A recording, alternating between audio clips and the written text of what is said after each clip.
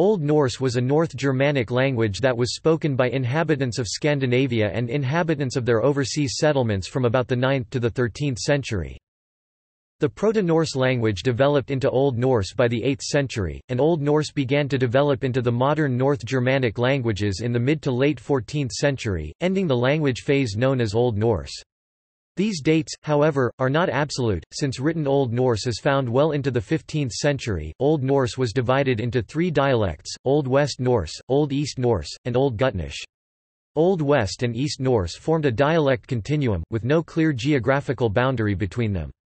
For example, Old East Norse traits were found in eastern Norway, although Old Norwegian is classified as Old West Norse, and Old West Norse traits were found in western Sweden. Most speakers spoke Old East Norse in what is present-day Denmark and Sweden.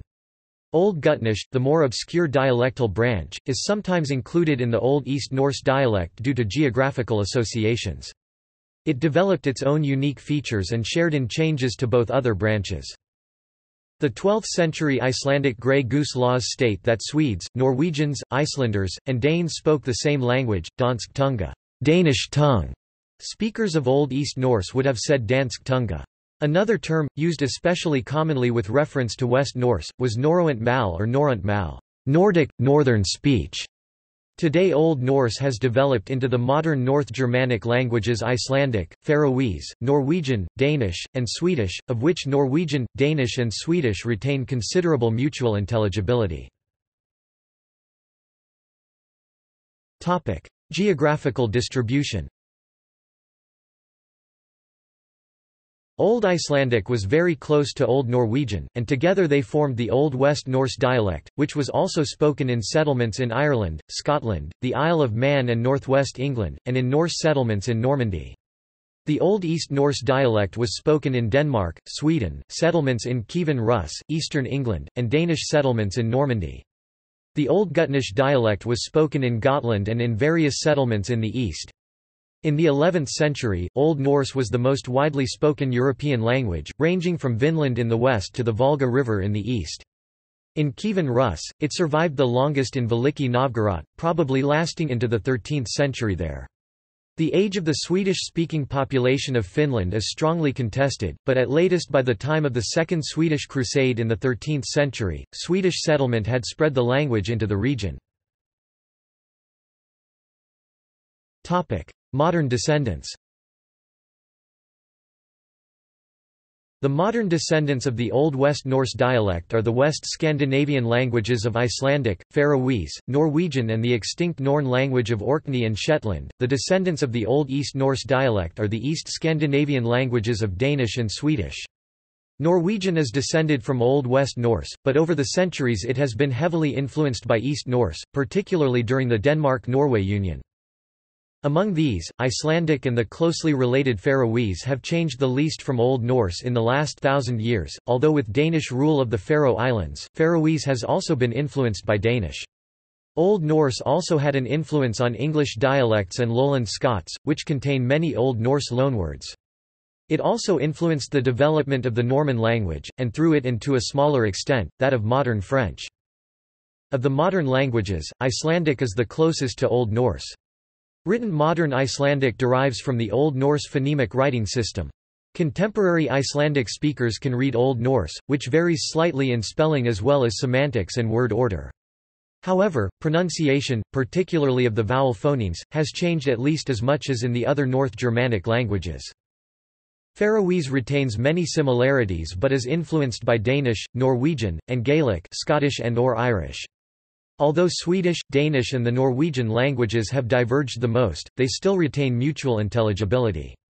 Speakers of modern Swedish, Norwegian and Danish can mostly understand each other without studying their neighboring languages, particularly if speaking slowly. The languages are also sufficiently similar in writing that they can mostly be understood across borders. This could be because these languages have been mutually affected by each other, as well as having a similar development influenced by Middle Low German.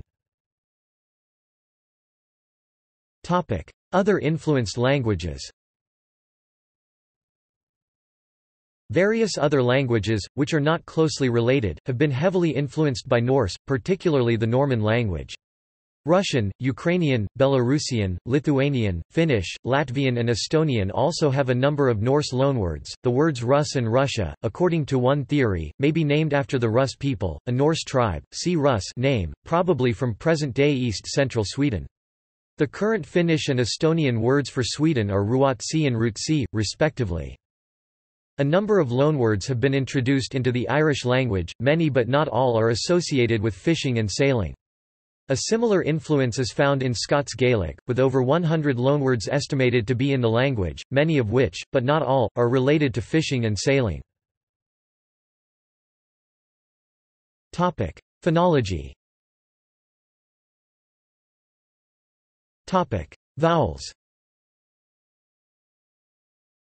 The vowel phonemes mostly come in pairs of long and short. The standardized orthography marks the long vowels with an acute accent. In medieval manuscripts, it is often unmarked but sometimes marked with an accent or through gemination. All phonemes have, more or less, the expected phonetic realization. Old Norse has had nasalized versions of all nine vowel places. These occurred as allophones of the vowels before nasal consonants and in places where a nasal had followed it in an older form of the word, before it was absorbed into a neighboring sound. If the nasal was absorbed by a stressed vowel, it would also lengthen the vowel. These nasalizations also occurred in the other Germanic languages, but were not retained long. They were noted in the first grammatical treatise, and otherwise might have remained unknown. The first grammarian marked these with a dot above the letter. This notation did not catch on, and would soon be obsolete. Nasal and oral vowels probably merged around the 11th century in most of Old East Norse. However, the distinction still holds in Dalecarlian dialects. The dots in the following vowel table separate the oral from nasal phonemes. Note, the open or open mid vowels may be transcribed differently.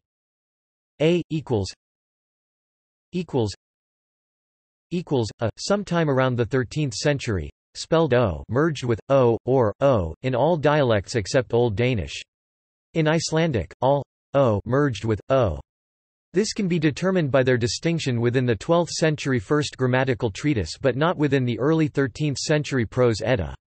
The nasal vowels, also noted in the first grammatical treatise, are assumed to have been lost in most dialects by this time but notably they are retained in Elfdalian. See Old Icelandic for the mergers of o stroke, spelled o with spelled a, and spelled e with e e. Topic: Consonants.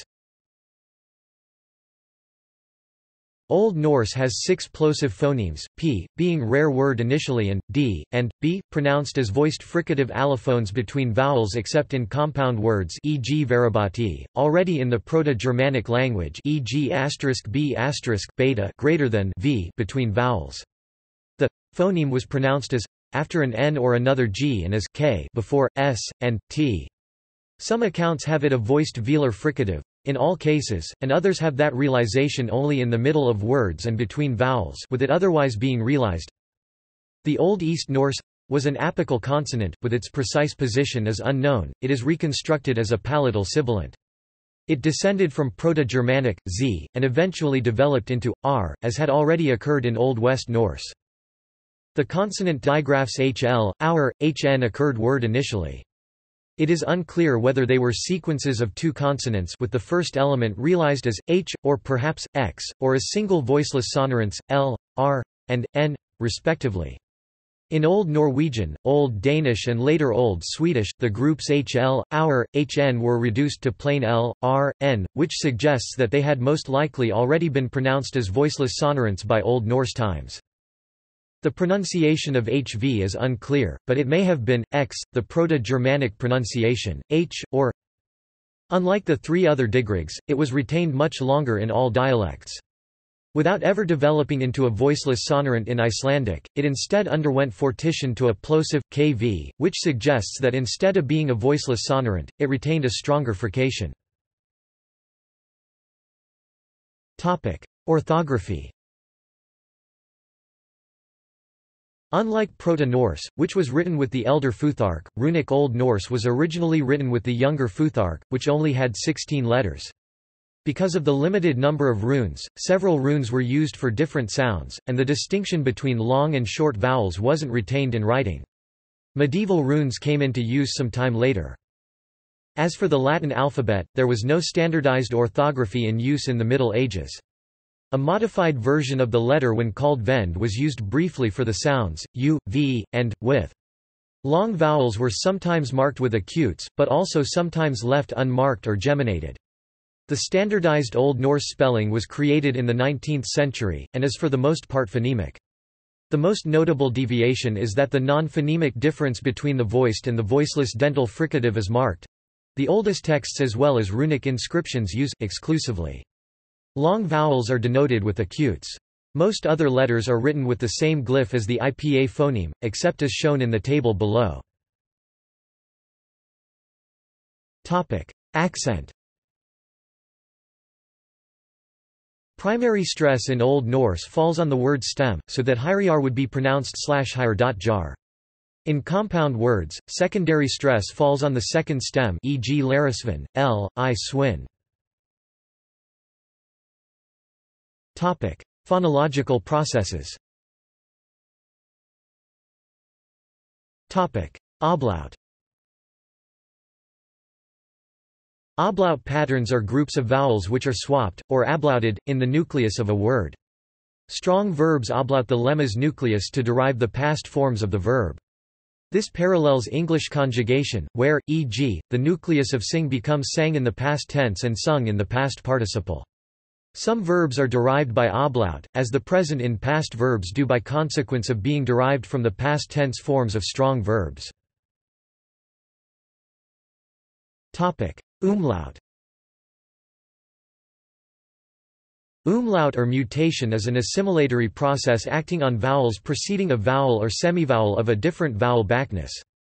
In the case of I umlaut and, umlaut, this entails a fronting of back vowels, with retention of lip rounding. In the case of U umlaut, this entails labialization of unrounded vowels. Umlaut is phonemic and in many situations grammatically significant as a side effect of losing the Proto-Germanic morphological suffixes whose vowels created the umlaut allophones. Some, y, y, o, o stroke, oi, and all, i, were obtained by i umlaut from, u, u, o, o, a, a, o, and, i, respectively. Others were formed via umlaut from u, u, a, a, and o. Some y, y, o, o stroke, and all were obtained by u umlaut from i, i, e, e, and a, a, respectively. See Old Icelandic for information on o was obtained through a simultaneous u and i umlaut of a. It appears in words like gora, gyora, gera, from Proto-Germanic asterisk garwajana, and commonly in verbs with a velar consonant before the suffix like sakva glass, hair, pile of rocks. Topic U umlaut U umlaut is more common in Old West Norse in both phonemic and allophonic positions, while it only occurs sparsely in post-runic Old East Norse and even in runic Old East Norse. Compare West Old Norse for accusative of fair, father, vor guardian, caretaker, orn eagle, jor earth, modern Icelandic, jor, molk milk, modern Icelandic, molk with Old Swedish for, verer, orn, jor and modern Swedish orn, jord, molk with the latter two demonstrating the u umlaut found in Swedish. This is still a major difference between Swedish and Faroese and Icelandic today. Plurals of neuters do not have u umlaut at all in Swedish, but in Faroese and Icelandic they do, for example the Faroese and Icelandic plurals of the word land, land and land respectively, in contrast to the Swedish plural land and numerous other examples. That also applies to almost all feminine nouns, for example the largest feminine noun group, the O-stem nouns except the Swedish noun jord mentioned above, and even I-stem nouns and root nouns, such as Old West Norse mork, mork in Icelandic in comparison with modern and Old Swedish mark. Topic breaking Vowel breaking, or fracture, caused a front vowel to be split into a semivowel vowel sequence before a back vowel in the following syllable. While West Norse only broke e, East Norse also broke i. The change was blocked by a v, l, or r preceding the potentially broken vowel. Some, ya, or, j, and, ya, or, j, result from breaking of, e, and, e, respectively. Topic assimilation or elision of inflectional when a noun, pronoun, adjective, or verb has a long vowel or diphthong in the accented syllable and its stem ends in a single l, n, or s, the r or the elder r or z variant in an ending is assimilated. When the accented vowel is short, the ending is dropped. The nominative of the strong masculine declension and some I-stem feminine nouns uses one such r, oin r oin, becomes oin instead of asterisk oinar asterisk oin. The verb blaza to blow has third-person present tense blaze for he blows rather than asterisk blazer asterisk blaze. Similarly, the verb skina to shine had present tense third person skin rather than asterisk skinar, asterisk skin, while kala to cool down had present tense third person kel rather than asterisk kelr, asterisk kel. The rule is not absolute, with certain counter-examples such as vinr, which has the synonym vin, yet retains the unabsorbed version, and yotin, where assimilation takes place even though the root vowel, o, is short. The clusters asterisk, cl, cs, cn, cr, cannot yield asterisk, cl, cs, cn, cr, respectively, instead, cl, cs, cn, cr. The effect of this shortening can result in the lack of distinction between some forms of the noun. In the case of VETR, the nominative and accusative singular and plural forms are identical. The nominative singular and nominative and accusative plural would otherwise have been own asterisk vetar, oen asterisk vinter. These forms are impossible because the cluster asterisk, cr cannot be realized as cr, nor as asterisk, cr, nor as asterisk, c. The same shortening as in VETR also occurs in lax equals lax as opposed to asterisk lax, asterisk lax, botn as opposed to asterisk botan, asterisk botan, and jarl as opposed to asterisk jarl, asterisk jarl. Furthermore, wherever the cluster asterisk r is expected to exist, such as in the male names Ragnar, Steinar, supposedly asterisk Ragnar, asterisk Steiner, the result is apparently always r rather than asterisk r or asterisk. This is observable in the runic corpus. Topic: Phonotactics. Topic: Blocking of e, u, u. I, J adjacent to I, E, their U umlauts, and A was not possible, nor U, V adjacent to U, O, their I umlauts, and O. At the beginning of words, this manifested as a dropping of the initial J or V. Compare on or, ulfer, r with English word, wolf, year. In inflections, this manifested as the dropping of the inflectional vowels. Thus, clay plus dat i remains clay, and sjam in Icelandic progressed to sj um greater than sjm greater than sham.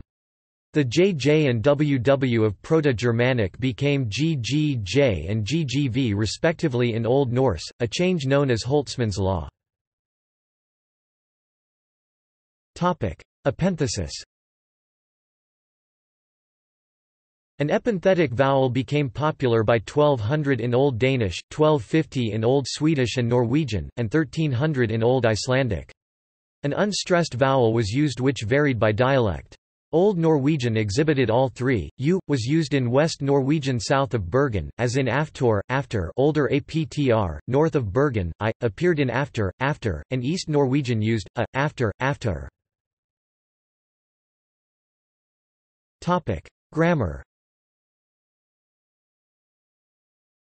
Old Norse was a moderately inflected language with high levels of nominal and verbal inflection.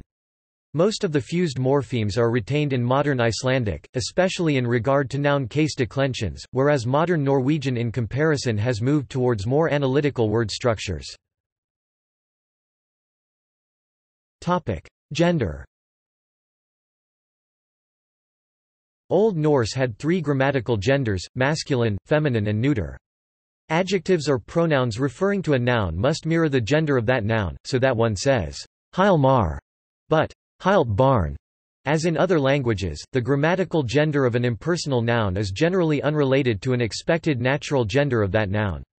While indeed Karl man, is masculine, Kona woman, is feminine, and hus, house, is neuter, so also are hrafn and kraka for raven and crow, masculine and feminine respectively, even in reference to a female raven or a male crow. All neuter words have identical nominative and accusative forms, and all feminine words have identical nominative and accusative plurals. The gender of some words' plurals does not agree with that of their singulars, such as lim and mund. Some words, such as hunger, have multiple genders, evidenced by their determiners being declined in different genders within a given sentence. Hierarchy Old Norse inherited the Proto-Germanic feature of having neuter as the default gender. This means that when the gender of a noun is unknown, adjectives and pronouns referencing it use the neuter gender forms, rather than the masculine or feminine. Thus, if speaking or writing to a general audience, one would say velkomit, well as it come, rather than velkomin or velkomin, well as, he or she, come, as one does not know whether the person hearing it is going to be male or female. One generally sees adjectives in their neuter form when used pronominally for this reason. For words more commonly used in this way rather than to describe a noun one sees their neuter forms more often than their masculine or feminine.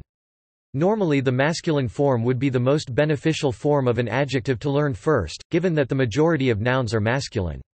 In these cases, however, the most practical form to learn first would be the neuter.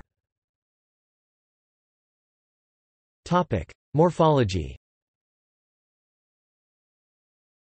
Nouns, adjectives and pronouns were declined in four grammatical cases nominative, accusative, genitive and dative, in singular and plural numbers. Adjectives and pronouns were additionally declined in three grammatical genders. Some pronouns first and second person could have dual number in addition to singular and plural. The genitive is used partitively, and quite often in compounds and kennings e.g., Ererbrunnar, the well of Ur, Lokasenna, the jibing of Loki. There were several classes of nouns within each gender, the following is an example of the strong inflectional paradigms. In addition to these examples there were the numerous weak noun paradigms, which had a much higher degree of syncretism between the different cases in its paradigms, i.e. they had fewer forms than the strong nouns. A definite article was realized as a suffix, that retained an independent declension e.g. troll a troll trollet the troll, hall a hall hollin the hall, armr an arm armorin the arm. This definite article, however, was a separate word, and did not become attached to the noun before later stages of the Old Norse period. Texts The earliest inscriptions in Old Norse are runic, from the 8th century. Runes continued to be commonly used until the 15th century and have been recorded to be in use in some form as late as the 19th century in some parts of Sweden. With the conversion to Christianity in the 11th century came the Latin alphabet. The oldest preserved texts in Old Norse in the Latin alphabet date from the middle of the 12th century. Subsequently, Old Norse became the vehicle of a large and varied body of vernacular literature, unique in medieval Europe. Most of the surviving literature was written in Iceland. Best known are the Norse sagas, the Icelanders' sagas and the mythological literature, but there also survives a large body of religious literature, translations into Old Norse of courtly romances, classical mythology, and the Old Testament, as well as instructional material, grammatical treatises and a large body of letters and official documents. Dialects Most of the innovations that appeared in Old Norse spread evenly through the Old Norse area. As a result, the dialects were very similar and considered to be the same language, a language that they sometimes called the Danish tongue sometimes Norse language as evidenced in the following two quotes from Heimskringla by Snorri Sturluson. However, some changes were geographically limited and so created a dialectal difference between Old West Norse and Old East Norse. As Proto-Norse evolved into Old Norse, in the 8th century, the effects of the umlauts seem to have been very much the same over the whole Old Norse area. But in later dialects of the language a split occurred mainly between West and East as the use of umlauts began to vary. The typical umlauts for example phyla from were better preserved in the West due to later generalizations in the East where many instances of umlaut were removed many archaic Eastern texts as well as Eastern runic inscriptions however portray the same extent of umlauts as in later Western Old Norse. All the while, the changes resulting in breaking for example Hiarda from herda were more influential in the East probably once again due to generalizations within the inflectional system. This difference was one of the greatest reasons behind the dialectalization that took place in the 9th and 10th centuries, shaping an Old West Norse dialect in Norway and the Atlantic settlements and an Old East Norse dialect in Denmark and Sweden. Old West Norse and Old Gutnish did not take part in the monophthongization which changed ai a into e, oi a and o into o stroke, nor did certain peripheral dialects of Swedish, as seen in modern Ostrobothnian dialects. Another difference was that Old West Norse lost certain combinations of consonants. The combinations MP, NT, and NK were assimilated into PP, TT and KK in Old West Norse, but this phenomenon was limited in Old East Norse. Here is a comparison between the two dialects as well as Old Gutnish. It is a transcription from one of the Funbo runestones U990 meaning, Ver and Thane and Gunnar raised this stone after Haersi, their father. God help his spirit, the OEN original text above is transliterated according to traditional scholarly methods, wherein U umlaut is not regarded in runic Old East Norse. Modern studies have shown that the positions where it applies are the same as for runic Old West Norse. An alternative and probably more accurate transliteration would therefore render the text in OEN as such.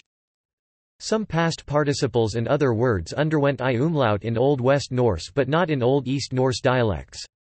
Examples of that are Icelandic slegi, slegin and teki, tekin, which in Swedish are slaget, slagen and taget, tagen. This can also be seen in the Icelandic and Norwegian words sterker and sturk, strong, which in Swedish is stark as in Old Swedish.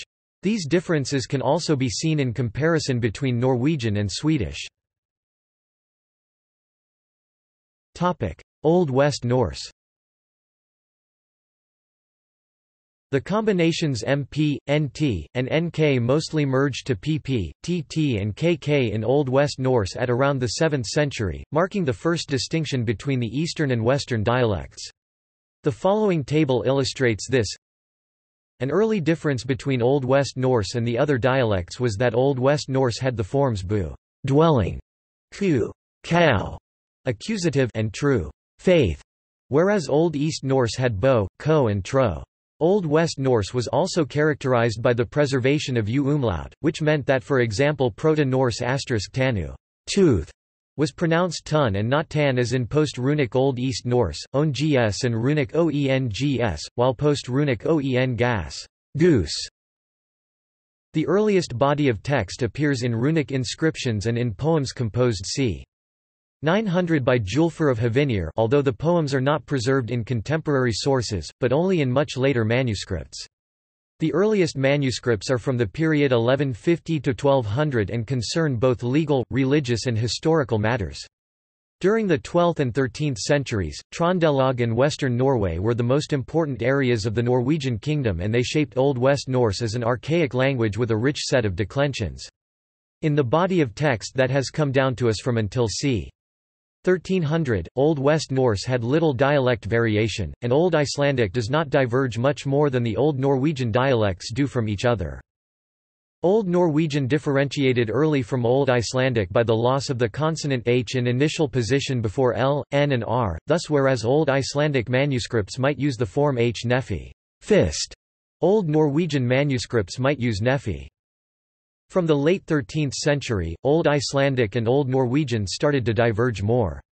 After c. 1350, the Black Death and following social upheavals seem to have accelerated language changes in Norway.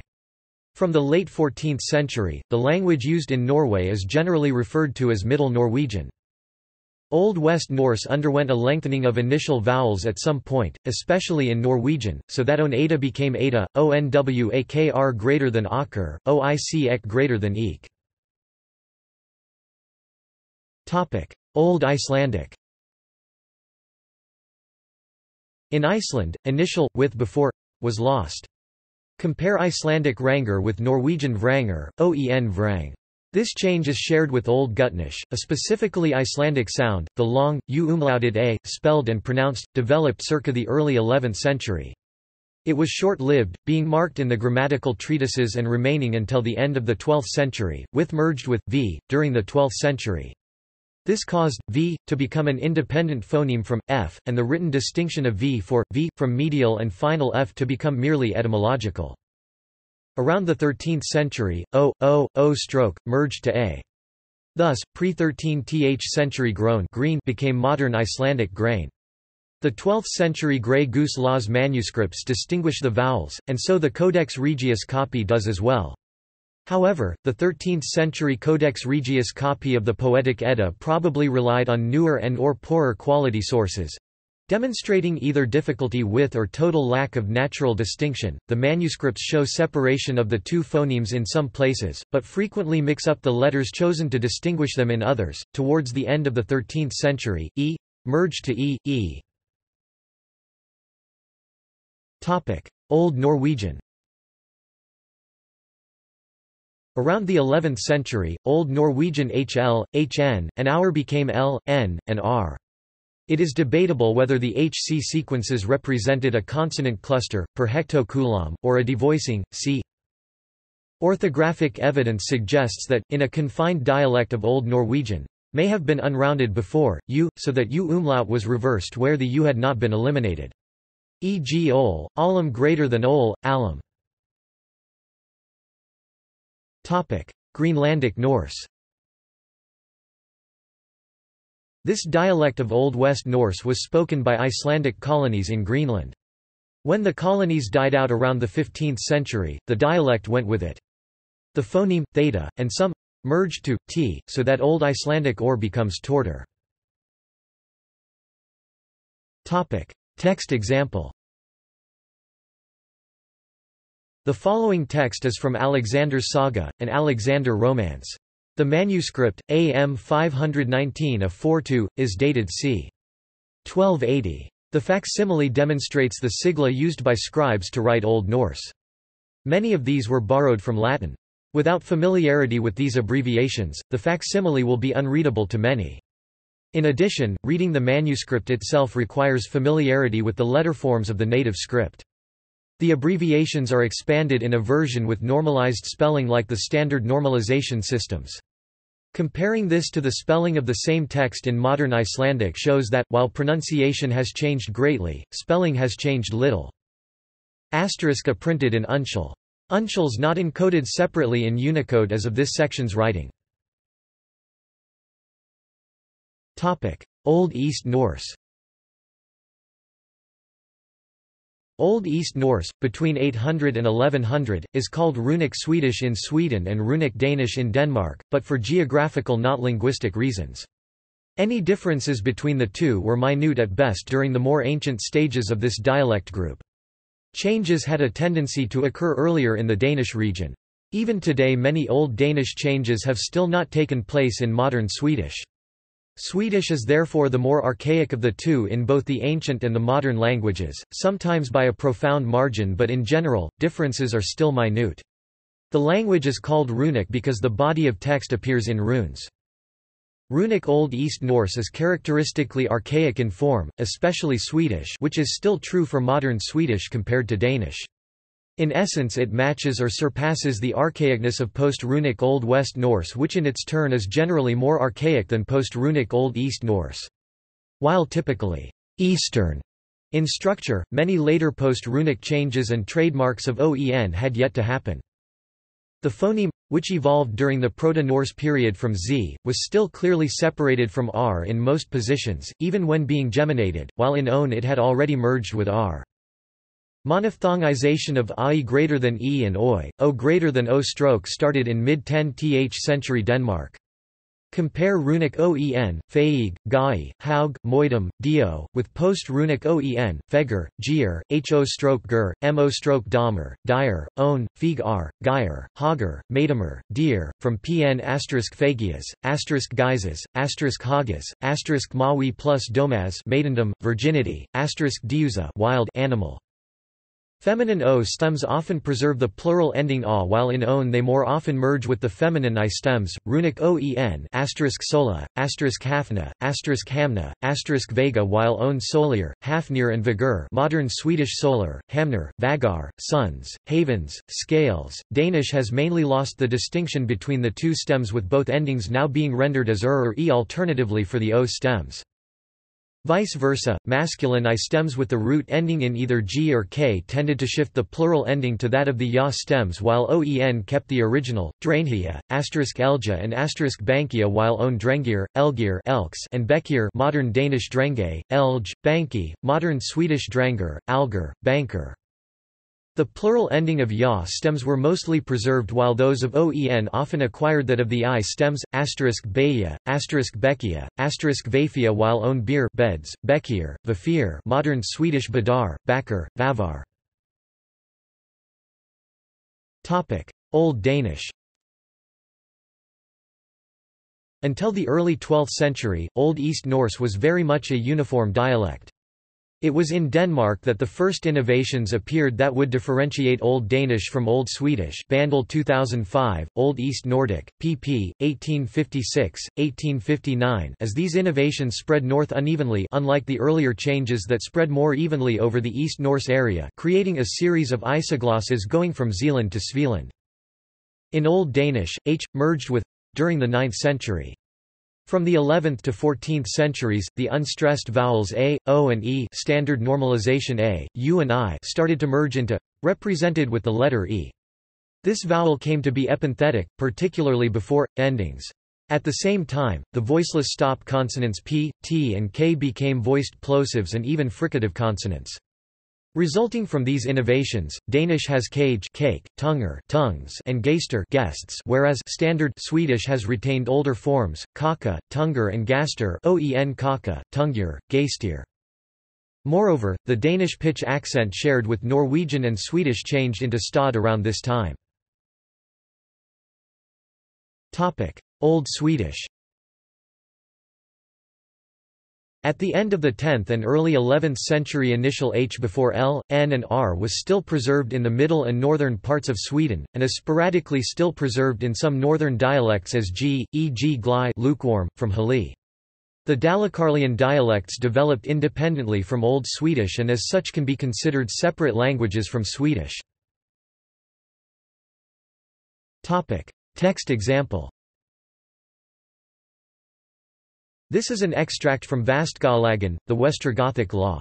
It is the oldest text written as a manuscript found in Sweden and from the 13th century. It is contemporaneous with most of the Icelandic literature. The text marks the beginning of Old Swedish as a distinct dialect. Old Gutnish Due to Gotland's early isolation from the mainland, many features of Old Norse did not spread from or to the island, and Old Gutnish developed as an entirely separate branch from Old East and West Norse. For example, the diphthong i in agu, air and weta was not retroactively umlauted to a as in e.g. Old Icelandic eigu, air and vita. Breaking was especially active in Old Gutnish, leading to forms such as bjera and bjawa, mainland bera and bjoa. Dropping of with in initial w is shared only with Old Icelandic. Text example. The Gutasaga is the longest text surviving from Old Gutnish. It was written in the 13th century and dealt with the early history of the Gotlanders. This part relates to the agreement that the Gotlanders had with the Swedish king sometime before the 9th century. Topic: Relationship to other languages Relationship to English Old English and Old Norse were related languages. It is therefore not surprising that many words in Old Norse look familiar to English speakers e.g., armr arm, foder foot, land land, full r full, hanga to hang, standa uh, to stand.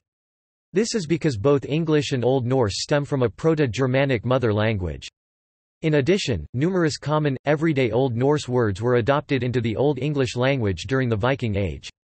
A few examples of Old Norse loanwords in modern English are English, Viking Age Old East Norse, in some cases even displacing their Old English cognates, Nouns: anger, angr, bag, baggy, bait, bayit, bayeta, bayiti, band, band, bark, bork, stem bark, birth, byre, dirt, drit, dregs, dreja, egg, egg, related to oe, cognate, age, which became Middle English, i, ei, Fellow philagi, gap, gap, husband, husbandi, cake, kaka, keel, keel, stem also keel, kill, kid, key, knife, nif, law, log, stem lag, leg, leg, link, halank, loan, lan, related to oe, cognate, lane, cf, lend, race, ros, stem ross, root, rot, related to oe, cognate, wyrt, cf. wart, sail, sala, scrap, scrap, seat, seti, sister, sistier, related to oe, cognate, sweoster, skill, skyle, skill, skin, skin, skirt, skirta versus the native English shirt of the same root, sky, sky, slaughter, slater, snare, snara, stake, stake, thrift, rift, tidings, tyandi, trust, troust, window, vendoga, wing, vey, i. Verbs are er, displacing oe, sinned, blend blanda, call kala, cast casta, clip clippa, crawl crafla, cut possibly from on die doya, gasp gaispa, get geta, give gifa, gefa, related to oe. Cognate. Gifan. Glitter glitra, hit hitta, lift lifta, raise rayesa, ransack ransaka, rid ria, run rinna, stem rin, ran, run, related to oe, cognate. Rinnan. Scare, skira, scrape, scrappa, seam, soma, sprint, sprinta, take, taka, thrive, riffas, thrust, rista, want, vanta. Adjectives: flat, flatr, happy, hap, ill, illr, likely, liklig, loose, louse, low, lag, meek, meek, odd, odda, rotten, rotin, rutin, scant, scamped, sly, slog, weak, vague, wrong, vrang. Adverbs: thwart, athwart, vert.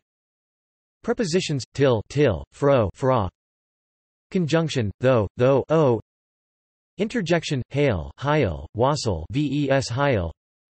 Personal pronoun, they ai, their aia, them aim for which the Anglo-Saxons said hie, hira, him. Prenominal adjectives, same sami in a simple sentence like, they are both weak. The extent of the Old Norse loanwords becomes quite clear Old East Norse with archaic pronunciation, iu by waiki, while Old English, Hie sinden bagan. The words they and weak are both borrowed from Old Norse, and the word both might also be a borrowing, though this is disputed cf. German Beide. While the number of loanwords adopted from the Norse was not as numerous as that of Norman French or Latin, their depth and everyday nature make them a substantial and very important part of everyday English speech as they are part of the very core of the modern English vocabulary. Words like bowl and Thursday are more difficult when it comes to their origins. Bowl may be from either Old English bula or Old Norse buli, while Thursday may be a borrowing, or it could simply be from the Old English unrasdag, which could have been influenced by the Old Norse cognate. The word r is from Old English erun, Aaron, which stems back to Proto-Germanic as well as the Old Norse cognates. Relationship to modern Scandinavian languages. See also. Germanic a mutation An Introduction to Old Norse. A common textbook on the language. List of English words of Old Norse origin Old Norse morphology the grammar of the language. Old Norse orthography the spelling of the language. Old Norse poetry Proto-Norse language the Scandinavian dialect of Proto-Germanic that developed into Old Norse Topic. Dialectal information Greenlandic Norse History of Danish History of Icelandic Old Gutnish Old Norwegian Old Swedish Topic. References Topic. Cleasby Vigfusson Topic. Sources Topic. Dictionaries Topic: Grammars. Topic: Old Norse texts. Topic: Language learning resources. Topic: External links. Heimskringla. No, an online collection of Old Norse source material. Old Norse sound sample Old Norse loans in Old and Middle English, and their legacy in the dialects of England and Modern Standard English. Old Norse Basic Lexicon at the Global Lexicostatistical Database